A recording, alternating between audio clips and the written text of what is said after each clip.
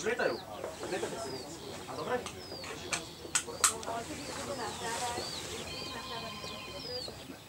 Hej. To znamená, je tam nejaká maximálna hmotnosť.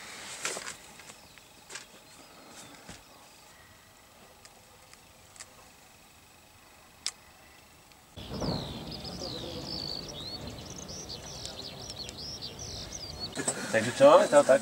Raz, dva, tri. Raz, dva, tri. Tak, odozdáme sa starostovi.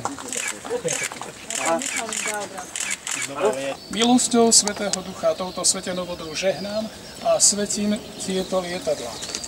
Mene Otca i Syna i Ducha Svetého. Amen.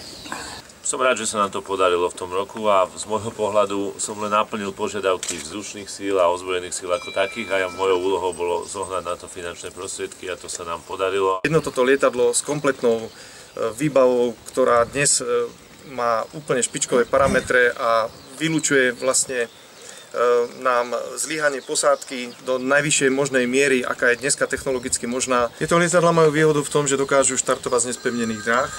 Sú veľmi e, rýchlo použiteľné na území Slovenskej republiky. E, spočítajte si a e, tí, e, ktorí žijú v regiónoch, vedia, kde majú krátke nesprevnené dráhy. V prípade krízy by sme boli schopní, keď nebudeme môcť použiť vrtulníky, používať aj tieto lietadla na prevoz obyvateľov, prevoz záchranných tímov, zranených, na veľmi rýchle a flexibilné využitie.